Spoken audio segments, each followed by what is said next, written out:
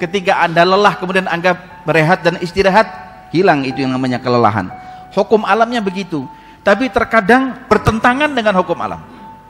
Ada kalanya manusia bisa lahir tanpa seorang ayah, Nabi Allah Isa. Hukum alam gak akan bisa menerima. Logika manusia menolak ini. Dari mana seorang anak manusia bisa lahir tanpa seorang ayah? Ada lagi yang terlahir tanpa ayah, tanpa ibu. Nabi Allah Adam alaihissalam.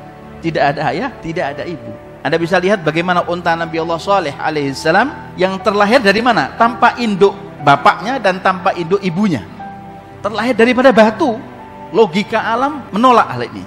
Tapi kalau sudah Allah Subhanahu wa taala yang kemudian berbicara dan Allah taala yang mengatakan kun fayakun, beres urusan ini. Serahkan kepada Allah.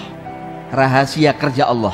Allah mendatangkan kebahagiaan tidak disangka-sangka. Allah punya skenario, Allah punya rahasia. Yang rahasia Allah taala tidak bisa masuk dalam logika kita.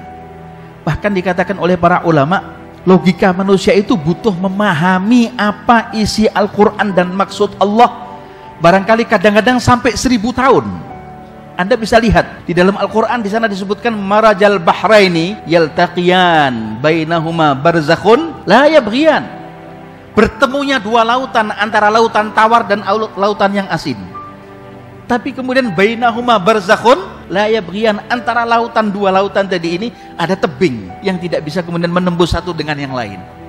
Kira-kira ketika ayat itu datang, para sahabat berontak enggak? Enggak berontak. Walaupun para sahabat masih bertanda tanya kepada Rasulullah, apa ada ya Rasulullah? Air yang asin tidak bisa bercampur dengan air yang tawar dalam satu ketempat di dunia ini. Ternyata itu dibuktikan oleh logika ilmiah para ilmuwan, ternyata itu ada. Dan itu adalah gudratnya Allah subhanahu wa ta'ala. Kadang-kadang butuh logika sampai seribu tahun bisa mikirkan ini Al-Quran. Karena rahasia kerja Allah ta'ala gudratnya Allah kuasanya Allah yang bisa membuat manusia kemudian tercengang